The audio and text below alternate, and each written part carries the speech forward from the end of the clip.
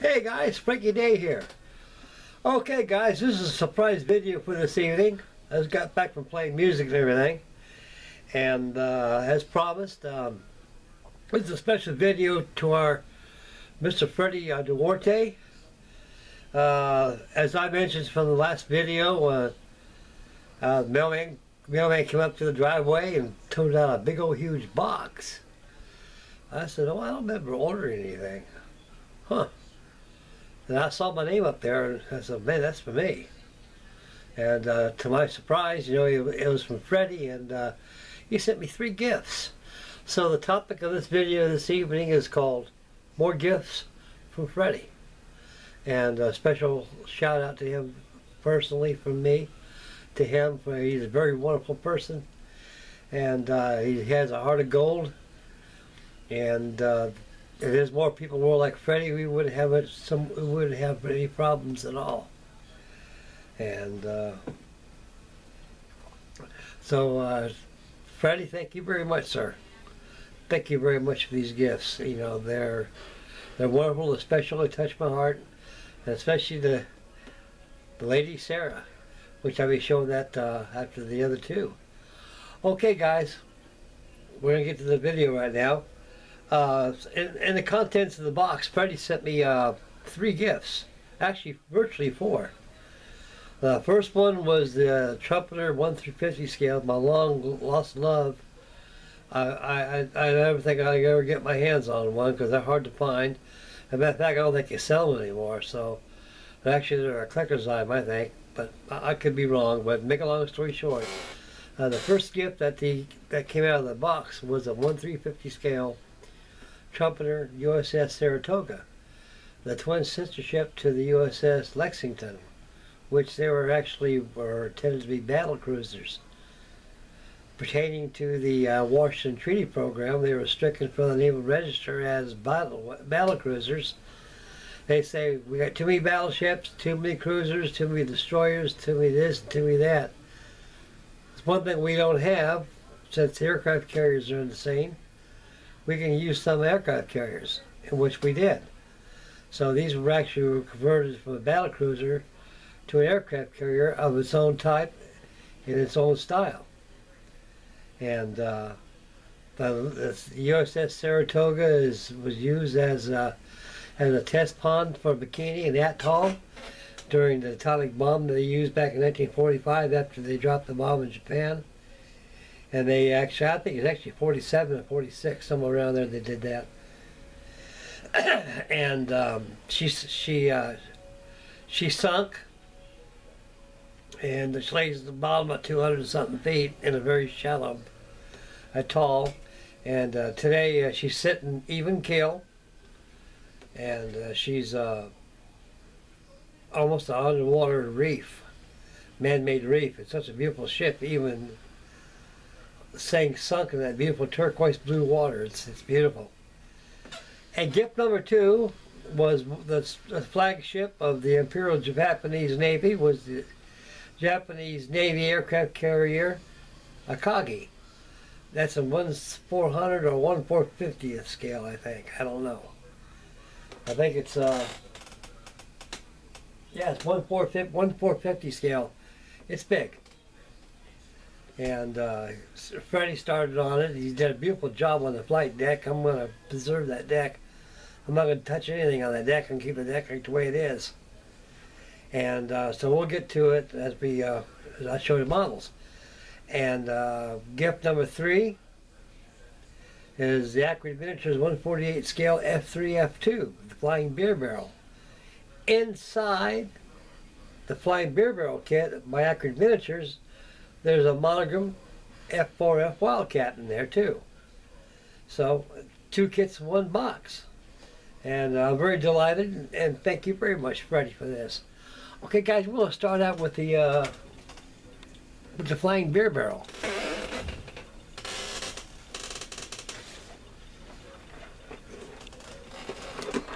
You guys probably got this new stash, thinking about buying one, or even built one.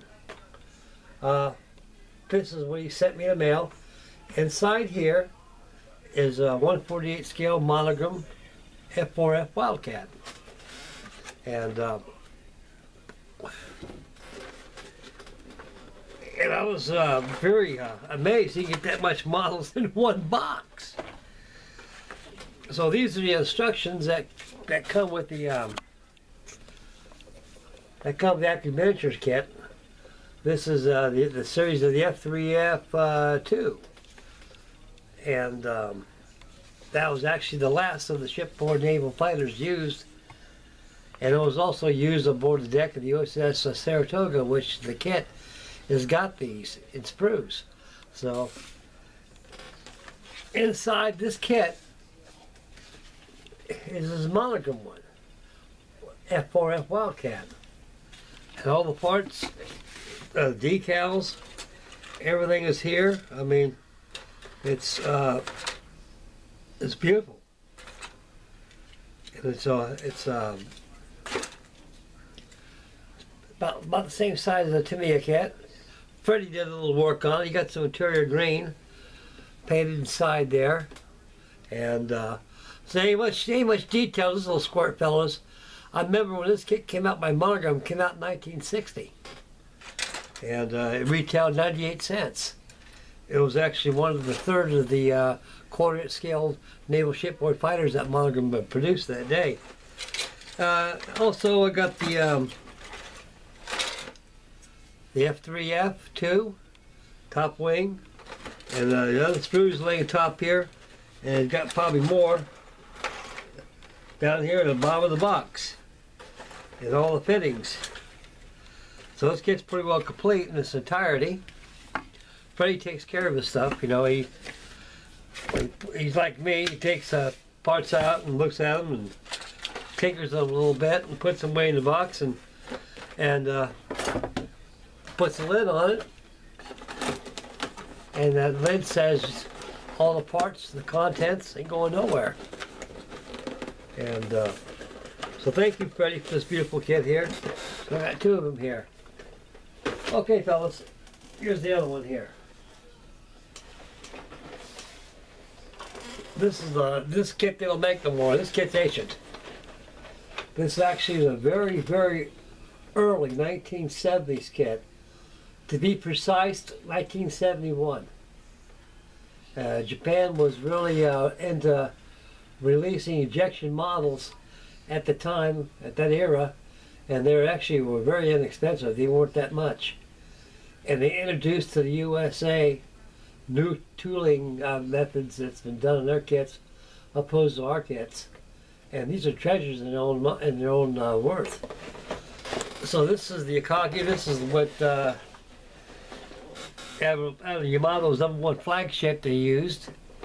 And uh, the Akagi was uh, sunk during the, during the Battle of Midway aboard Japan. And uh, she was the strike force uh, flagship for um, Climb Mount Niitaka, Pearl Harbor. And uh, I believe Fuchida was the, uh, the, the commanding officer of that uh, of, the Pearl Harbor raid, and he actually he had the the uh, the command of all the, of the, the whole entire carrier wing, and um, this was his ship. These Japanese sure had some strange looking ships and their designs, but they're very beautiful ships in their own, in their own perspective ways. And right here, he's uh, he started on this. He tinkered with it a little bit, and, and he did a very, very excellent job on this deck, guys. I looked at it. He, he did a, he did a damn good job on it. So here's the deck right here. I don't need nothing, fellas. All that this thing needs now is to be put right on top of the superstructure she's done and get those valves 97s and Kates, zeros all painted up. And uh, she was a pretty good sized carrier for her day, guys. And um, I believe these kits, at then, they were actually a gimmick model. Because you can see at one time, it carried batteries in there. It had motors back in the 1970s, guys, these things were gimmick models. They had motors. They all came with motors. and they superseded the stuff that Lindberg had. And so now I guess they more or less know that a lot of guys are guys like us are not into toys that play out in the water with with uh, back and forth using a battery. So we're in a better uh, technology than this. So they don't they, don't no longer make uh, motors including inside the kits. Uh, Freddy got started on us a little bit. He um, took some parts out and dry fitted here and there. And uh, the only the only uh, primary uh, part that he painted on this here kit is the flight deck. And um, he did a very, very fabulous job on it. Very beautiful job. I like how to put the wash on there. It gives the, gives it the illusion of uh, of exhaust, stained wear and tear. That was a very beautiful, uh, just a very beautiful kit. And I'm going to have fun building this. So we got winter coming up. I'm going to be a very busy, busy, busy man. Okay, guys, we'll save the best for last. This is the one I've been hunting for for a long, long, long time. I never thought I would get my hands on one of these bad boys. This is the 1 350 scale USS Lexington. The Lady Lex. No, I mean the USS Saratoga. The sister ship to, to the uh, Lexington. These were actually at one time were battle cruisers.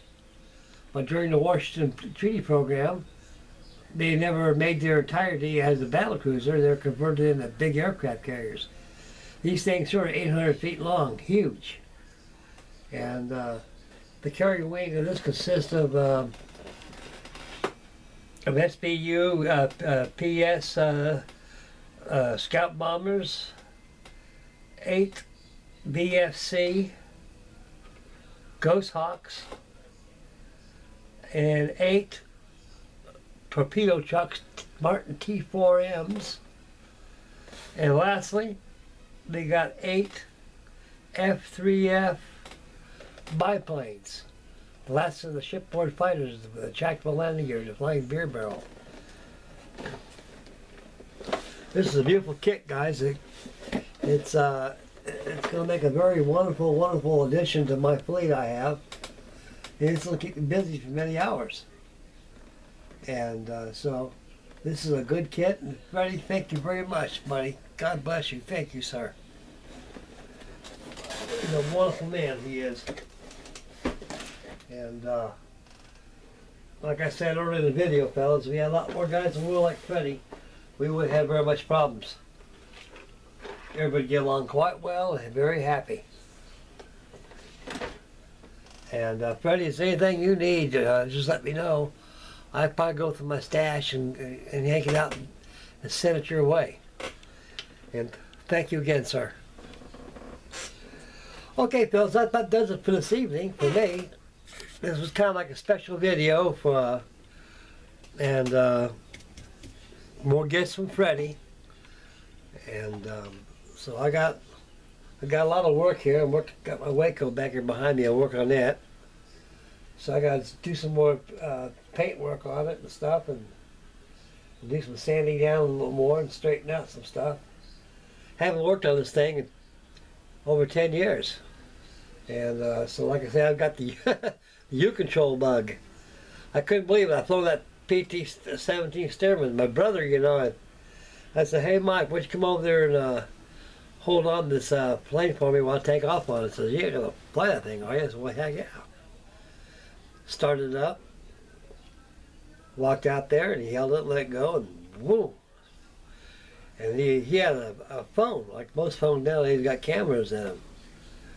So I, I had no idea that his that his uh, camera, you know, doesn't do nothing on the computer, nothing like that. It's, it's all built inside the phone, and it stays there. It don't go out.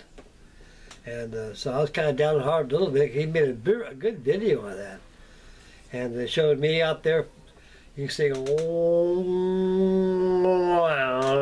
just going around circles, and and I was just like a new kid, new toy, just having some fun. So it kind of opened some doors just to break up the monotony a little bit. So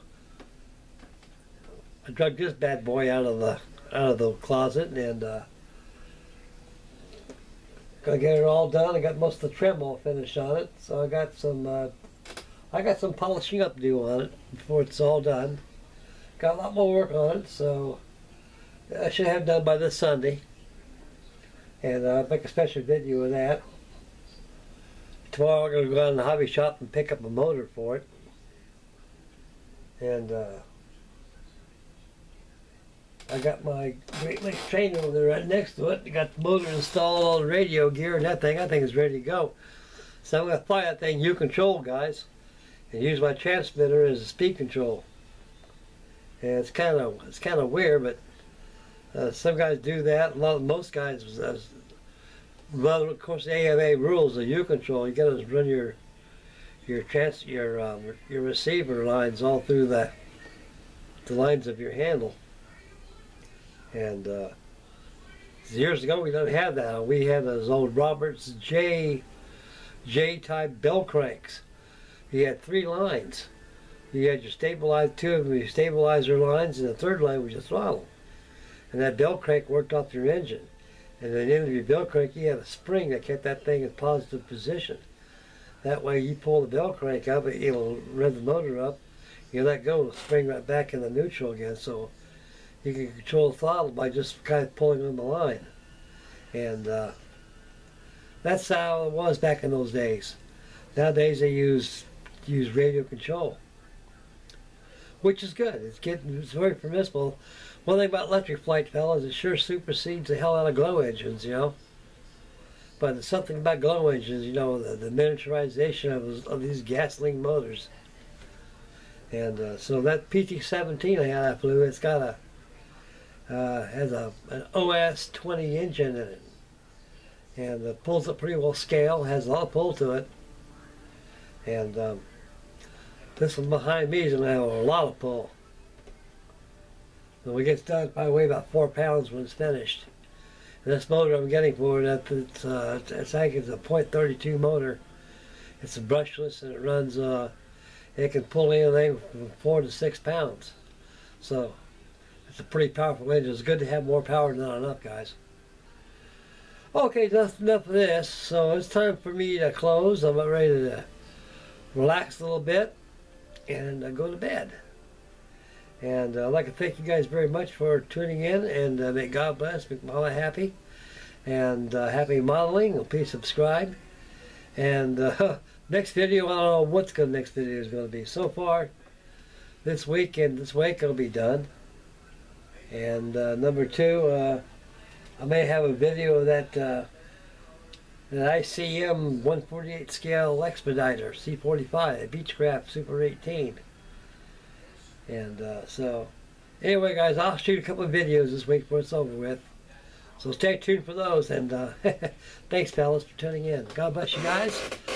And uh, Freddy, thank you very much again, dear friend. You the man, buddy. You the man. Thanks, buddy. See you, fellas.